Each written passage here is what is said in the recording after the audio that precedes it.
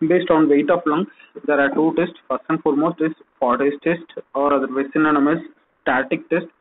And uh, here in case where lungs have been ligated across, across their hilum and has been separated followed by it has been weighed. And uh, before respiration where uh, weight of both lungs is of 30 to 40 grams and after respiration it increased to 60 to 70 grams and the reason that have been advocated is due to increase in blood flow.